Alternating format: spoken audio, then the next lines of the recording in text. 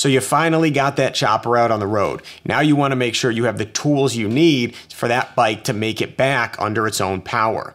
But with no two choppers being exactly alike, it can be hard to tell what tools you need to have in your tool roll for your specific motorcycle. So for today's video, we're going to take a slightly different approach. I'm going to take you through the five most common breakdowns that leave chopper guys on the side of the road. I'm going to show you what tools I carry in my toolkit to get myself out of those jams. And then I'm going to have you follow along, plug in the appropriate sizes for your motorcycle so that by the end of this video, you have a top tier tool roll that'll get you out of any issues you might run into.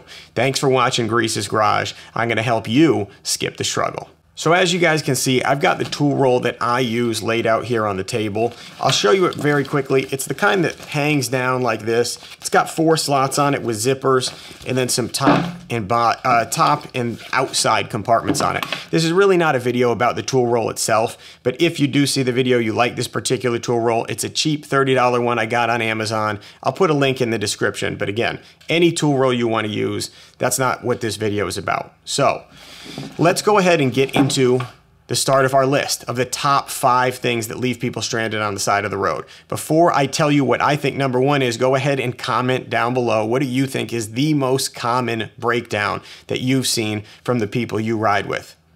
All done with that? All right, let's get into it. For me, the number one breakdown is electrical.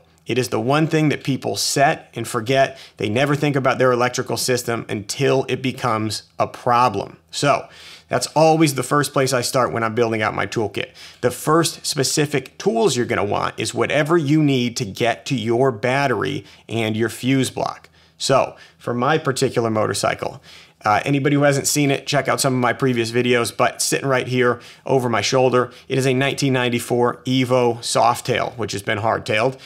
So to get to my battery, it's right under my seat and my seat comes off with one bolt. So the first tool that goes into my tool roll is this right here. This is a 3 16 Allen socket, and then it partners up with this stubby ratchet. Now you could use a full-size ratchet, but I'm trying to save weight. I'm trying to make this kit as light as possible, and listen to the sound of that. I just love these little Snap-on stubby ratchets. It's my favorite ratchet. So this is what I need to pop my seat off. These two click together. That goes into my tool roll, that is the first item. That gets my seat off. Now I can get to my battery, I can get to my fuse block. The next thing that you're going to want in your tool roll is some of these little guys, fuses. So my particular bike, my fuse block takes ATC style fuses, which are these ones I'm showing you right here. Your bike may take mini ATC fuses. It may take some other type of fuse. This is where the homework part starts for you guys. Whatever your bike is, plug that in and start making your list as you follow along with this video. So for me, ATC style fuses in the appropriate amperage for my bike. So I throw those in. Next thing you might want to do on the side of the road is diagnose what went wrong in the first place. For that, the most valuable tool in your tool roll is this little guy right here, your voltmeter. This is a $10 Harbor Freight voltmeter that I've been using for the last three years. So if your excuse for not carrying a voltmeter is that you don't want to buy some expensive tool, trust me, these are 12 volt systems. These are not complicated machines that we're working with. A $10 voltmeter does plenty. It's got DC20 for checking voltage and it can check continuity if you're one of those fancy guys and you like to check your continuity. I'm a very basic wiring guy. DC20 gets me through most stuff. But anyways, I find this to be so handy that I actually put this in this external, there's only one external pocket on my tool roll. I put the voltmeter in it. It's that important. Keep it on the ready. So next up, the next tool you're gonna wanna carry with you is this little guy right here. This is a spark plug. This is actually not a spark plug socket, but it is the socket that is appropriately sized for my spark plugs, which on my Evo Softail is a 13 16 Quick note about this socket.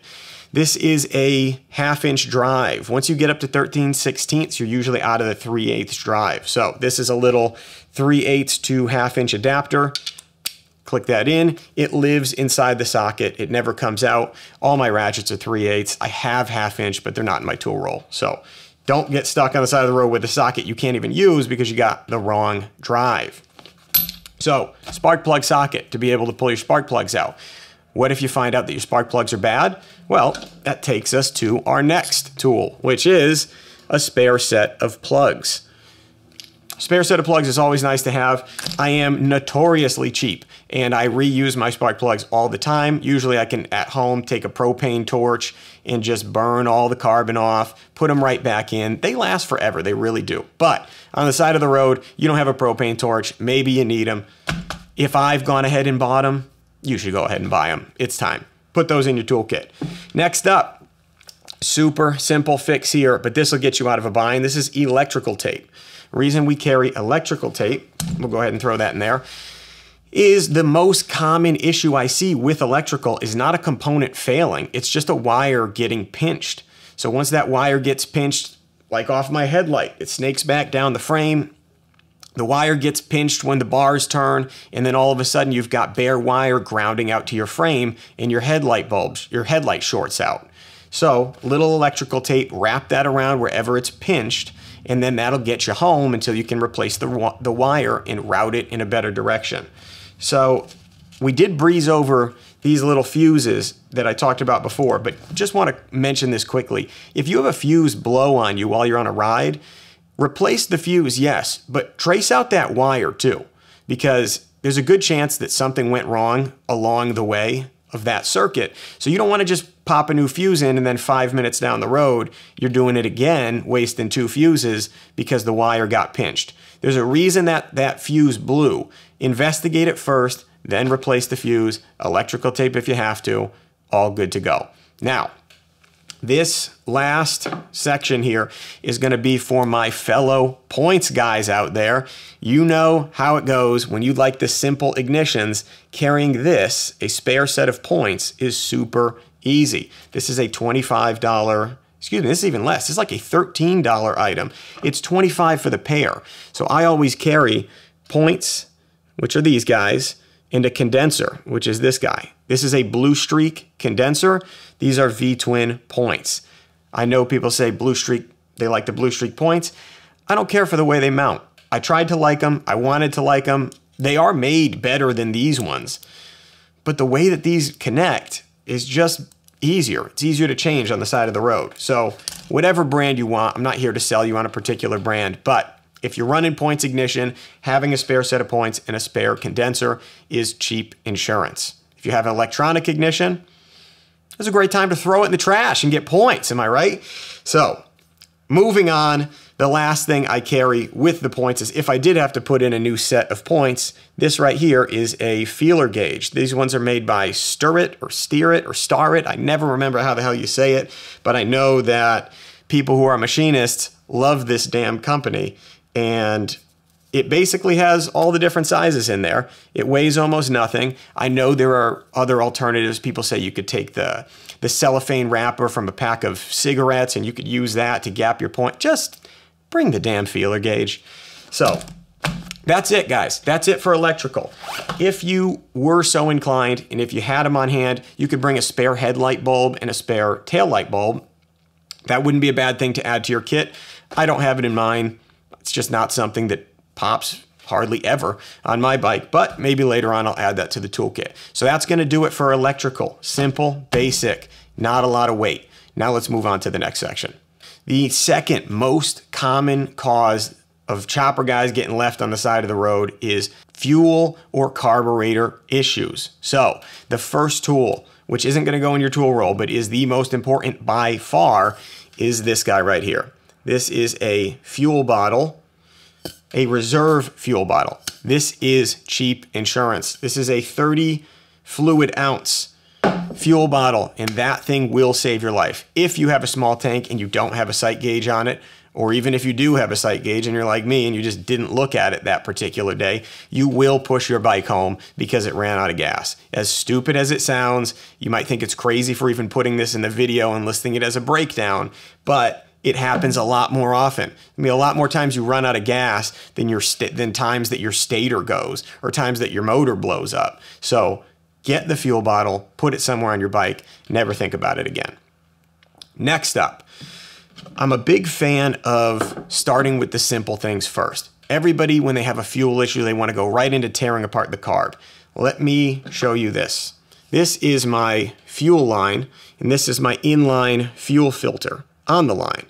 I have had so many enormous bugs make their way into this fuel filter that you would not believe it. I don't know if this is just a New Hampshire thing or what the problem is, but I am always finding blockages right here.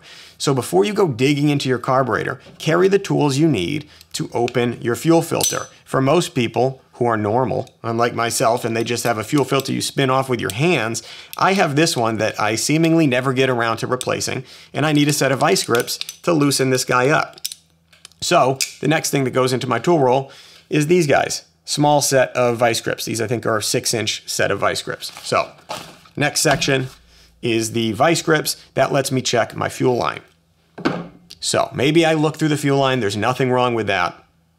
Then it's time to delve a little deeper into the carburetor. Now I run this guy right here, the best carb on the planet, the S&S Super E. Look at that beautiful carburetor and that velocity stack. Gotta love it. So, enough oogling over the carburetor. Let's talk about the tools you need to have are the tools you need to access your carburetor. Now, for me, this is super easy because I have no air cleaner blocking the carburetor. It's right out there in the open. And most of the controls, like up here, you've got your fuel mixture screw. On this side, you've got your accelerator pump, and then on this side, you've got your idle speed adjuster screw. On the Super E, they're all out there in the open. So you don't need many tools unless you have an air cleaner in the way. Uh, but if you have a jet that gets gummed up, I'll show you the tools that I pack for that. So on the bottom of this carburetor, you can see our float bowl drain plug. That's the brass plug down there at the bottom. So the first tool roll, or excuse me, the first tool in my tool roll is this little guy. This is a 5 8 socket. This will remove that drain plug. So 5 8 socket going into the tool roll. That lets me check the main jet through the hole in the bottom. But in order to pop the main jet out, I use this little guy. This is a little flathead screwdriver that has a, a wide top, but obviously, as you can see here, is very short. So I carry this to pop the main jet out while the carburetor is still on the bike. If I don't see anything in the main jet and there was an issue with the fuel, then it's time to take the float bowl off. Now, speaking of being cheap and not buying things I should buy, they do make extended float bowl screws for the S&S Super E. They're like 40 bucks and it's just, mm, they're, they're, I don't know what the price point is that I would buy them at. If they were, I'll tell you this, if they were 20 bucks, I'd have bought them years ago. But for some reason, that $40, mm, I just can never seem to pull the trigger on it. So if I was going to take these four, and actually I colored them in blue so you could see them there. If I was going to take the float bowl off my carburetor while I was on the side of the road, I would just take the carburetor off the bike. And the reason I say that is to remove the carburetor from the bike on, on this carb, it's just these two bolts. And the way these bolts are accessed is with this guy. This is a 5 16 Allen socket. So this little socket pops these off, but in order to get to them, you have to come in from the other side of the bike. So for that reason, I also include this. This is a probably 8 or 10 inch extension with the 5 16 socket on it. This will let me sneak in through the fins, two screws, carburetor comes right off the bike, then it's right out here in front of me. I can go ahead and take the bowl apart, super easy. I would just prefer to do it that way so I'm not burning my fingers on the motor trying to get up under there because I'm too cheap to buy the float bowl screws. So this goes into the carburetor slash fuel section of my tool roll. And you can see the way I'm doing this here. Kind of, this is all my electrical, this is all the carburetor, and then our other sections are gonna go further ahead. So basically, depending on the issue, I know which pouch I'm going into. Last thing I include is this guy. This is another flathead screwdriver, but slightly longer. Uh, this is just easier to hold And that stubby one is good for taking out the main jet, but it doesn't really fit into the other uh, the other areas of the carburetor to get those float bowl screws off. So I always have two flathead screwdrivers, and that's it. That's all I bring for the fuel related stuff. As you can see in this pocket, it's fairly slim. It's not a lot of gear, but it's enough to get you off the side of the road. Next segment. The next most common cause of breakdowns for us chopper guys is wheel and chain related issues. So, what tools do I bring for this? First off, if you're having a wheel related issue, something's going wrong with your axle adjuster or your chain, the first thing you're going to need to do is crack your axle nut. So, for that, I've got this eight inch Husky adjustable wrench. I don't know why I name dropped Husky like it's a big brand. This is a Home Depot. it's a Home Depot adjustable wrench that I'm stunting on everybody with. So I have this adjustable wrench. I use this because it's multi-purpose. You could bring the actual wrench that fits your your axle nut, but I just find it handy to have an adjustable for a lot more than just that. So this is what I carry. So I throw this in there. That'll let me crack the axle nut. Then if you have to mess with your axle adjusters, the next tool you're gonna to want to keep in this section is the appropriate wrench for your axle adjusters. In my case, this is a 9 16 wrench. I carry the stubby one because axle adjusters are small. It's not like you have to put a crazy amount of torque on these things. This will let me adjust them, and then when it's time to snug them down, I can use this guy on the axle adjuster bolt, and then this other wrench to snug up the nut. So handy little pair. Go ahead, throw those in there. Doesn't weigh a whole lot, but it'll let you uh, make adjustments to the wheel. Next, let's say you have an issue with that chain. For example, the master link clip pops off and the chain, boop, becomes a big line and slides down the road. If you want to be able to put that back on, you're going to want to carry a spare master link. As you can see, this one is still in the bag. I've never had my chain pop off. Um, I don't know how frequent of a problem that is, but being that this is a $5 part and it gives me a little peace of mind, I figure I bought it with the chain, I might as well carry it with me. So weighs nothing, might get you out of a bind if your chain gets messed up while you're going down the road. Next up, I know we all like to play fast and loose with our tire pressure, and most people don't even check this at all. And if they do, maybe they check it once a year. Next time you're getting oil at the auto parts store because you don't want to pay Harley for their oil and oil filters, pick up one of these. This is a tire pressure gauge. It is like $1 at the counter of Advance Auto Parts or whatever your favorite store is. This isn't a sponsored ad for Advance Auto Parts. A lot of name drops in this episode. So just grab one of these, whatever tire pressure you like. On mine, I like it about 30 on the rear. And then the front, I usually have more like 35. I'm running, basically running two rear tires. I got both my tires are 16 by 5. Um, I love the low, chunky look of that bike. So if you have like skinny 21 spool wheel in the front, uh, experiment, decide what kind of pressure you want. Most of us have either a 16, an 18. Some of you guys like to get weird and do the 19s in the rear. Um, those might have different pressures. So pick whatever pressure you want. That's up to you. This right here, next tool, this is a valve core removal tool. Um, I have this in here because much like that tire pressure gauge, I picked it up at the auto parts counter and I've had it ever since. If you ever had yours come loose, if that's a thing that happens, you could go ahead and tighten it back up with this, or this actually will lead us into the next topic, which is the most controversial part of what I'm packing, or rather, what I'm not packing. There are people who say, you know, if my if I have a blowout on the side of the road, I've got the tire spoons, I'm going to pop that tire off, I carry a spare tube, I'm going to throw it in there. If you're doing a cross-country trip, that's the kind of thing I would expect to see. But like we said in the beginning, this is an EDC toolkit. If this thing gets too big, this thing is going to get left at home. You all know how it goes. You have that breakdown and you're like, oh, I have this great toolkit, but I just, I didn't think it was gonna be necessary to bring it.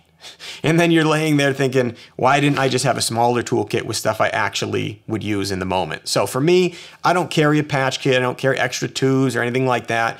Even under the best of circumstances here in my shop, I struggle to put in, to put in a new tire on. I mostly take them to Breaker Bikes in Exeter, New Hampshire. Shout out to Breaker Bikes, 20 bucks for a mount and balance. They kill it over there. If you're anywhere in my area, I don't go anywhere else for tires. And I certainly don't mess around with them with tire spoons on the side of the road for three hours. I'll just get my truck and have some, and I'll throw the bike in the back. But like I said, if you have, actually, I will put one caveat to this. If you are running tubeless tires, I would carry a patch kit. It's the kind you use uh, that I've used a million times for trucks, cars, with the reamer tool where you punch that thing through the tire and then you put those little bacon strips in there and you cut them flush. That actually works and it's pretty fast. You're not stuck on the side of the road. You're not trying to break the bead and use little CO2 cartridges to inflate your tire back up. The patch kits are actually, for tubeless tires, are pretty good. If I had tubeless tires, that would be in here, but I don't, so they're not. Next section.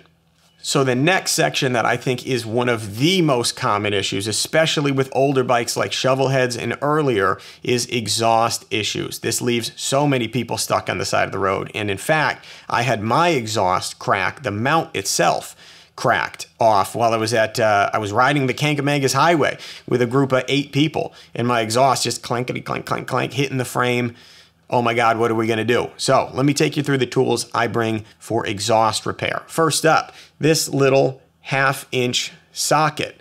This is the, the size for the exhaust stud nuts on the Evo. So I actually team this thing up with that same long extension that I showed you guys earlier. I pop this on there. This let me get to the, the two that are right in this section here next to the, uh, the seat post, it can be a little tricky to get to those without a long extension. So I use this, this extension kind of works double duty for taking the carb off and for doing the exhaust repairs. One thing I do want to mention though, if you see here, this is a swivel head, uh, swivel head, flex head, whatever you call it, you know what I'm talking about, wobbly head. Make sure you get a wobbly head extension because when you're trying to reach around that seat post, you don't always get like the perfect angle on it. So having that wobble is actually pretty cru crucial, at least for my bike, for getting the, uh, the exhaust stud tightened back down. So this goes into the toolkit. Next, there's one of the four exhaust stud nuts in the front that is butted right up against the down tube. And for that one, can't use a half inch socket, so I have to use a half inch wrench. So I carry a stubby half inch wrench. This is plenty of torque for me to be able to tighten that thing down, but not long enough that I'm gonna snap that stud off because we all know when we got we want to get that thing tightened down, you run a good chance of never getting it tightened back up. So that's to tighten the exhaust on the the engine side. But what if you're in a situation like I was where you're riding the Kank and the mount breaks? It's not something you can tighten back down.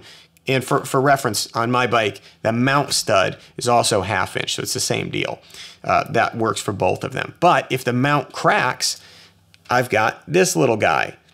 These, so for anybody who doesn't know, I'm an iron worker by day. This is the tie wire that we use for tying rebar. I've heard it called a million different things. I've always called it tie wire. Uh, I've heard it called nine wire, baling wire, mechanics wire. Uh, I don't care what you call it. You know what I'm talking about. It's flexible wire that is just steel. And the reason this is handy is because this is what got me out of a bind. One of my buddies had this in his tool roll, and we were able to wrap the exhaust to the frame, and this stuff won't melt. Zip ties are cool, zip ties are handy. We'll talk about those in a second, but this right here is gonna stand up to the heat of your exhaust. So always have, that's probably about a, a six foot piece that I've got I'll, I'll ne probably never use that much, but it weighs nothing, so throw it in there. That's the exhaust all squared away. The fifth section is what I like to call structural. This is anything that's on your bike fastener wise that can rattle loose and come off and leave you fighting to get your bike home. So first thing I think of, gas tank. My gas tank is actually out for paint right now with No Luck Paintworks. Shout out to Dan over at No Luck Paintworks. I can't wait. I'm going to be bringing you guys a video of that process too. Excited to be working with Dan on that, so stay tuned for that in a future uh, video on the channel. But my gas tank's got two bolts that are both this same 5 16 Allen.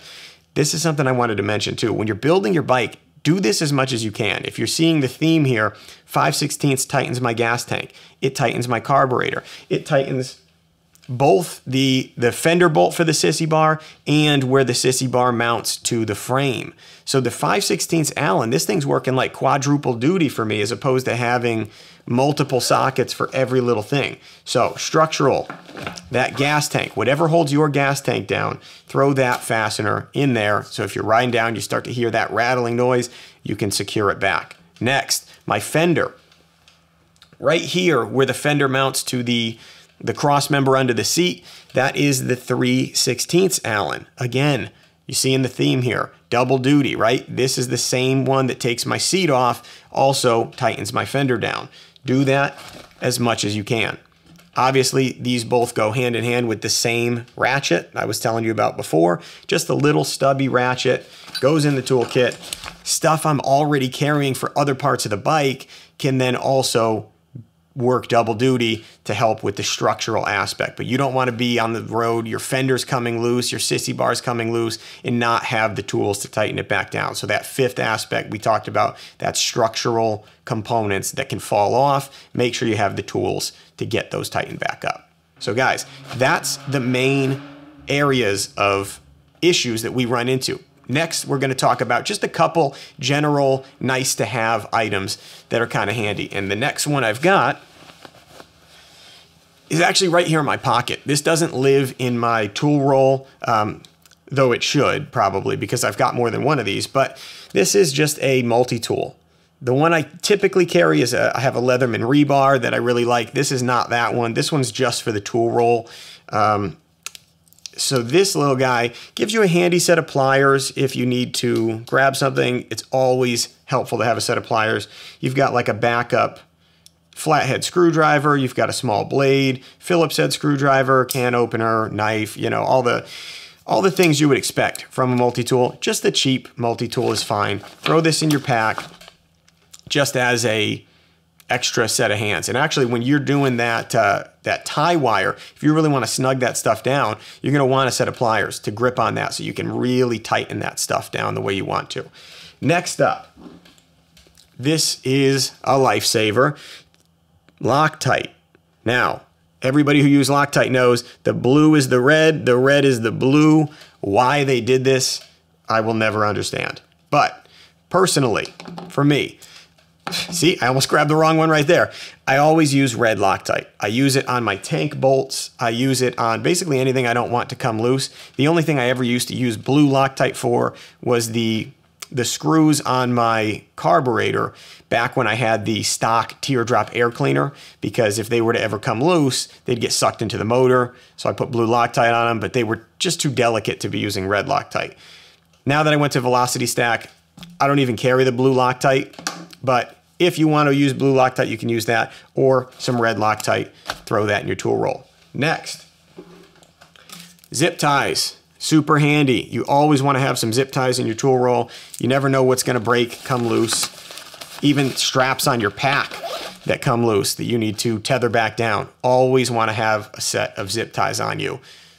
Just get you out of a bind. And I think we made it through. Guys, that's it. That is soup to nuts, everything I carry in this tool roll. Let me go ahead and just zip all these pouches closed, roll this thing up, and just show you what we're working with.